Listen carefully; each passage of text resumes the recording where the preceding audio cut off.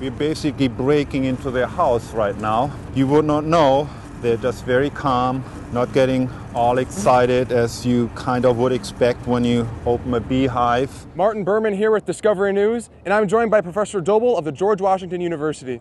Professor Doebel, where are we right now and why are there so many bees? Well, we are on the roof of one of our uh, biology department buildings. And they're beekeeping in downtown Washington, D.C. I would say maybe there are a dozen or so beekeepers in the city, and that's it. So, what's going on here then? Just a few months ago, we got into uh, an agreement with a local restaurant, Founding Farmers, who uh, wants the honey for their customers. Founding Farmers is owned by 42,000 farmers of the North Dakota Farmers Union. They pride themselves in being deemed one of the greenest restaurants in the nation's capital. I'm Valerie Zweig, and I am the director of honey for Founding Farmers Restaurant. They originally wanted to create an urban rooftop garden until someone mentioned bees. We ended up really getting a bee in our bonnet about these bees and decided to really pursue that angle. And it's turned into what they claim is the largest urban apiary owned by a restaurant in the U.S. One of our most popular dishes is our uh, cornbread with honey butter.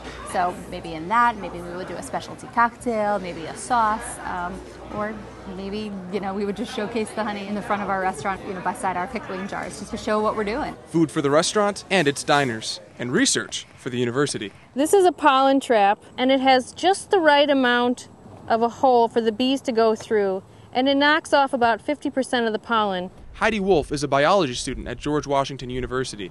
Her thesis compares urban versus rural beekeeping.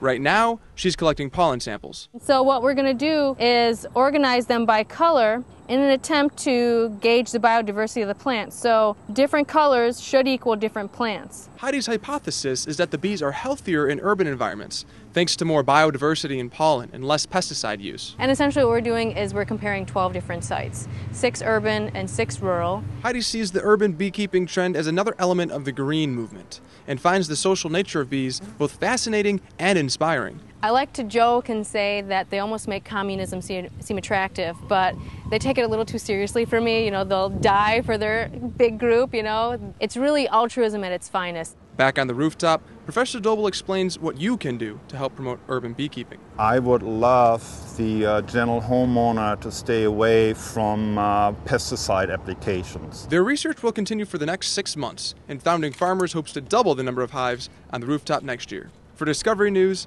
I'm Martin Berman.